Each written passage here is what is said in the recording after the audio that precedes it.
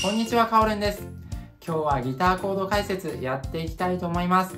今日やっていく曲はですね、2022年 NHK の18フェスというね、番組、こちらの主題歌にもなりましたあいみょんさんの最新曲、双葉をやっていきたいと思います。今回やっていくのは、イントロ、A メロ、B メロのね、3つになります。それではまずは A メロのフルから見てみてください。レッツゴー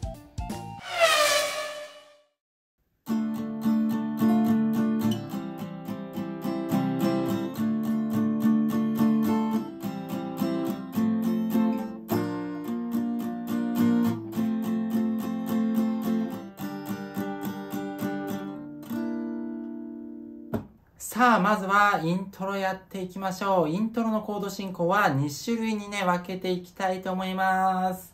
一つ目がですね、a マイナー、G、a マイナー、G 音 B、C、これになります。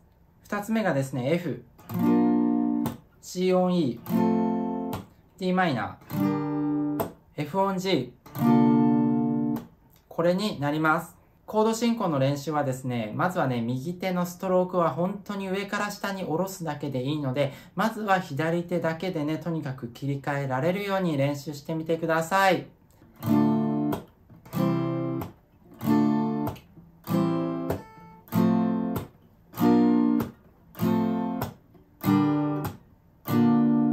でね、ここでポイントが2つありまして、とにかくコードをね、押さえるときは、すべての指をね、同時に押さえられるようにしてみてください。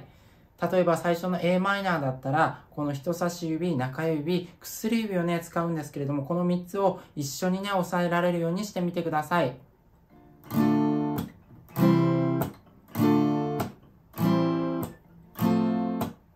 こんな感じになります。あともう一個ポイントなのが F コードを押さえるとき。この時は人差し指から押さえられるようにしてみてください。ストロークっていうのはね、いろいろなパターンがあるんですが、基本的には上から下にね、下ろすのがね、形になりますので、まずはね、上から下に下ろす時に最初に触るコードっていうのがね、一番上にある6弦になります。この6弦をね、担当しているのがこの人差し指になりますので、まずはね、大変なんですけど、人差し指から押さえられるように頑張ってみてください。次にストロークになります。見てみてください。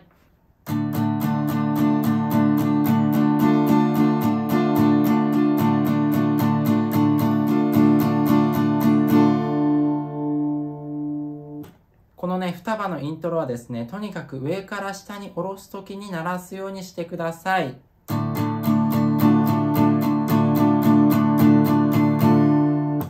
ストロークを練習するときは、まずはね、左手は a マイナーのね、このコードで固定でいいですから、右手だけを練習するように頑張ってみてください。最後にですね、今紹介したコード進行とストローク、こちらをね、組み合わせればイントロになります。ぜひね、皆さんやってみてください。次に A メロ行ってみましょう。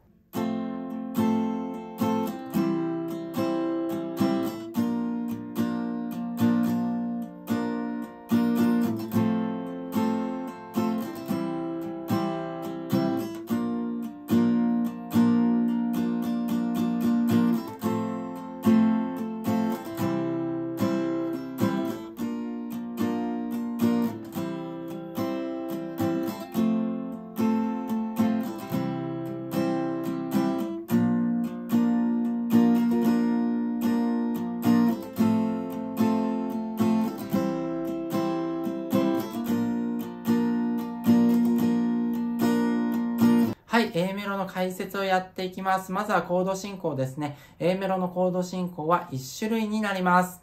C、G、F。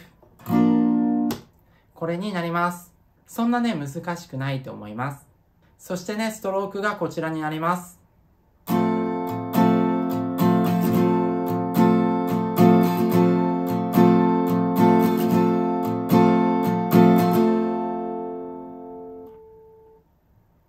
左手はね、C そのままで、右手だけをね、練習するようにしてみてください。最後にコード進行とストロークを組み合わせれば A メロも完成になります。次に B メロに行ってみましょう。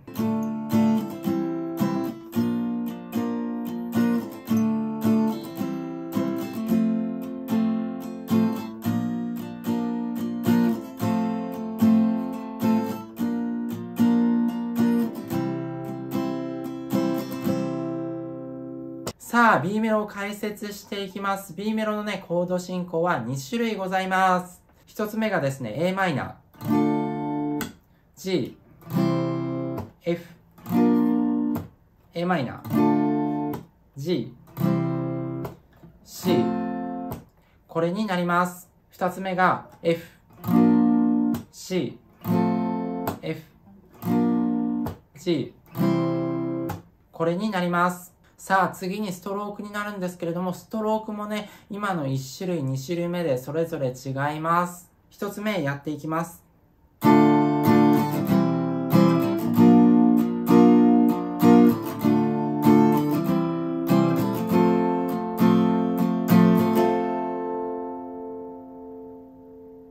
そして2つ目がこちらになります。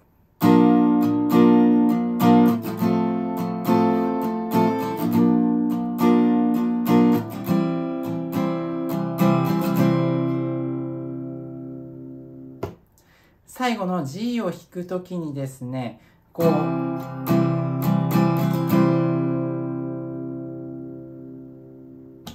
途中でね、上から下に下ろすところで終わらせるようにしてみてください。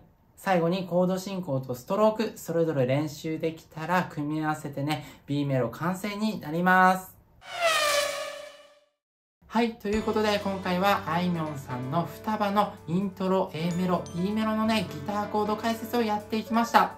ぜひ皆さんね、練習してみてください。次回はですね、サビと C メロをやっていきたいと思います。それでは次回まで、バイバイ